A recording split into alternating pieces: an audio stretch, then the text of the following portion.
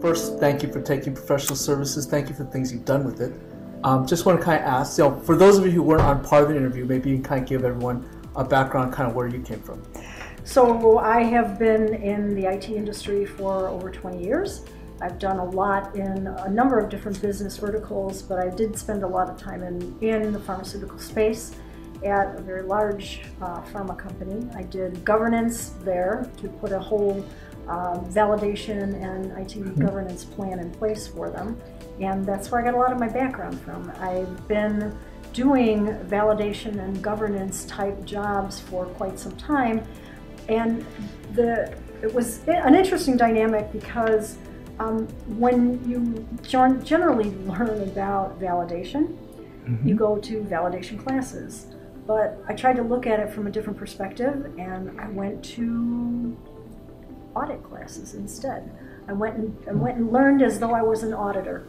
And so that actually gave me insight into the best practices for how to avoid the pitfalls of not giving yourself a good validation plan, not, not looking at compliance the way you should, because you know then what the auditors are going to look for. So, and that's some of the things that I've actually taught my team as well. I really like the fact that you're very pragmatic.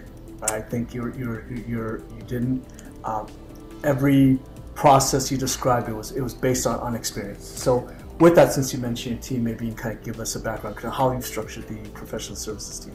So uh, the way that we are organized at this point in time, we have a team of people who do the initial take you basically take you from start to finish implementation.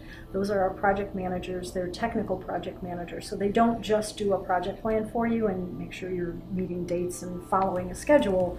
What they really do is understand the system as well. Okay. They can configure the system, they can tell you about it, they can explain what it needs to do for you. They understand your serial number recipes, they understand how your CMOs are going to actually be able to be configured in the system. Um, we also have a team of people who specialize in validation and testing. They are a group of people who are under that are um, geared toward looking at your operational qualification, mm-hmm. your your um, you know, your the uh, ability to test your programs the way it needs to, and make sure that we've done the serialization the way it needs to be for you, and they give you the evidence for that control so that you have it, you understand what you're supposed to get from it when we do okay. validation. We also have a team of people who are dedicated to being your integration partners. So as we move beyond implementing the software and start looking at all your partner connections, we've got individuals who can actually uh, look at your partner connections, understand what has to be done, and understand how it folds into the overall architecture that we've designed for you. Okay. We've done this hundreds of times already one of the things that you've done really different that that, that is you've leveraged a global team, right? So what, when the U.S. finishes job, you can actually turn over to a different team Absolutely. to continue uh, the work uh, while others are while the right. U.S. is busy sleeping. Um, how how's that process work? What what was some of the thought process in putting that together? In order for us to be able to work with a variety of different countries, a variety of different um, groups because your while your manufacturing plant may be here, your manufacturing organization may be here in the states. You're using vendors that are offshore. You're using vendors that are in other countries to make your transa- your um, your trading partner connections. So we needed to make sure that we had an organization that can actually work in those different time zones. So what I have is I have a team of people here, I have a team of people who are offshore, and I have folks in, in both Europe and India in order to, to meet those needs. Okay. What we do is we can start in one place and continue to work. We don't assign just a person to you, we assign a group of people so that when work is stopping in one place, we can continue working oh. from a different time zone. So it actually benefits everyone that way. When you finish an engagement, what, what's, or actually, when you start an engagement, what are the two things you want the customer to know about your team? um, I want them to recognize that we have a tremendous amount of integrity in what we do, and we are there for the long haul my team and our rfxcel group as a whole, the organization as a whole, we are a company that we're here for the long haul. There is there is nothing more um, nothing more appealing to be an IT person than to know, as in an organization, than to know that when I install this software, you're not just going to run away from me. Mm-hmm. Um, when I was in the role as a in a company, I would look for organizations that I knew were going to be there to help me. Yep. Were going to be there after the installation, and that's the feeling that you get when you're working with rfxcel. So that's a good thing. I think it's um, comforting to know that you're going to have a group of people who are there to partner with you, not just to give you a software installation and run away. So let me ask, since you brought that because um, both you and I can we we start our career in IT, right? So how does that make it? How does that shape the way you approach customers? Because you, you came from IT and you didn't yeah. come straight from consulting. No, actually, it gives me a, it gives me a vantage point because I know when I was in a role in an organization and I was looking to hire companies, it was difficult to find individual companies and people that were going to work with you. And a lot of times they would give you they would give you people who didn't understand your industry. And especially in the pharmaceutical space, there are things that are very important to the pharma companies that, from a validation, from a qualification standpoint, that resonate when you talk to my team. We understand it, we know what to do with it, and we understand what it means to you to get it right. I think the biggest challenge that we've had over the last two years is actually going into an organization and um, while they have these business relationships with all their trading partners, mm-hmm. a lot of times they're not recognizing who, who's the owner of that relationship, what that relationship is actually based on. If are you selling to that organization? Are you um, are you are you manufacturing for them? Are you selling it to them? Is it a trade? And that is all going to play into the serialization portion of this because understanding how that relationship is built and understanding where the ownership is is part and parcel to being able to install the connection correctly from a serialization standpoint because you have to know who's going to own the serial numbers, who's going to be responsible for tracking them, and who would be accountable to the auditors or the, the FDA when they came in. So let me ask then. Um, so if the ch- so let me make sure. So the challenge is is um, if I understand correctly, it's it's um, understand kind of how, the, the, multiple positions the mm-hmm. company plays. The multiple, the, the various hats that a company can wear. You can have a manufacturer and they could manufacture for themselves and sell it. They can manufacture okay. for someone else and, and be a service. And a lot of times, what you find is that um, what they believe is ownership is actually a service that they're providing to another company. And so once you start digging in underneath all of those partner connections, you begin to realize where those relationships really are and how they're structured. And that will help us understand how we need to configure your system. Okay. When, when we go out and we look at an organization, we go into a pharmaceutical company, whether they are a CMO or a repackager or an mm-hmm. actual manufacturer, brand owner, um, we go in, and part of that, that kickoff that we do is to actually understand what it means to do business in your shop. We go in, we talk about those different scenarios that you have, and we make sure that we understand them, we can document them, we put the workflows together. And when we lay them out in front of you, then it begins to resonate in terms of what the work is supposed to look like for us.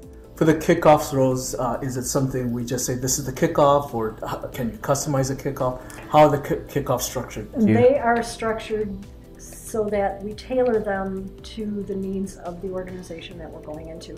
Every one of the organizations that we that we are actually working with, they depending on where they are in their serialization program. Okay. Some people know a lot because they've been working for a long time. They understand it. They're in the supply chain. They're the ones that are running it, so they have a good background. Others may not be involved, maybe superficially or on the outskirts of it. They've heard about serialization, what it is to do, and so we may have to spend a little bit more time bringing them up to speed. But we tailor those discussions so they could be anywhere from a day, where we're in in the morning and we're out again at, at the end of the day, or it could be up to two and a half days, depending on what we need to cover and how big the you know the the um, how many partners they have, how much right. relationship there is, and what their model, their business model is. Because in some cases, you have a brand owner who is a manufacturer for other people who hires other manufacturers. So it gets to be complicated sometimes. I know. Uh, I know we've been involved in a number of, or you've been involved in a number of competitive wins where we've gone into either replace systems that um, uh, our, our customers just they didn't like they, they, they went with one one provider and for whatever reason it didn't work. Uh, we've come in and, and, kind of replaced that, but maybe you can describe for us kind of the process, right? So it's, it's one to start a new implementation. There's one process for that, but if you've already got an impl- implementation that started, what do you have to do different? And actually, there's not a lot between having someone who is already down a road with an organization versus what we are going to come in and do fresh. Um, we have a good understanding of pretty much all of the other, um, you know, level four vendors out there, the serialization partners that are out there. We've been working with all of them for two years now. Mm-hmm. And in some cases, I think I can very safely say my team probably knows their softwares better as, as well as we know our own because we work with them on a daily basis. And so when we go in to actually transition, um, we already understand what they're dealing with in their in their software, and we can take those and actually transition that into ours directly. Um, so it, it's a matter of again still understanding the business scenarios that we need to pick up.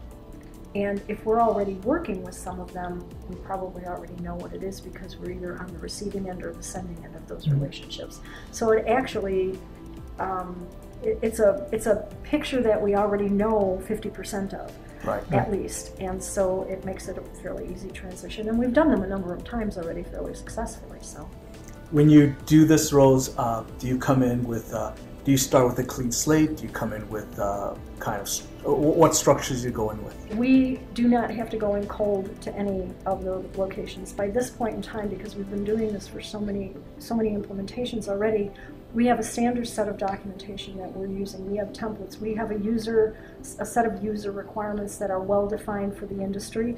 It actually works. We can, at the kickoff meeting, we're already bringing you a, uh, a development system that looks like mm-hmm. your system. We get you signed in, you'll already have access to it, and you'll see your products in so, there. So, Rose, let me ask, because I know when we when I when we started this one, uh, we went. So you're saying at kickoff, you have a running system configured Absolutely. based on some calls with the customer. So you can start off a couple of initial calls with the customer, some research that we do in the background for them from a product standpoint. Give me a few pieces of information and I can get you a development system already up and running. And it'll have transactions in it with some kind of um, test products so that you can see the events, you can see the commissions, the aggregation, the ship, the decommissions, um, all uh, the various uh, conditions that you would see in a normal situation that you would be running your business on. So we come in there on, on the first day of kickoff with that with that development system already ready for you. We have recipes already built in there for the serialization. We have a variety of different things that early on all the companies were doing trying to manually configure all of that and do that on the fly and some of them still are. At this stage, we don't have to worry about that because it's all built. And then on top of that, we've got all of the validation documentation already prepped. And so we're building based on your specific configuration. Mm-hmm. But the, the URS, the FS, the config spec, all of those are template. And we've got a standard set of test cases that we run through almost 600 different steps that we actually execute for you. Yeah. So um, it's it's a nice package to, to actually walk in and be able to show individuals that, that half of the documentation is already going to be in their hands the first week.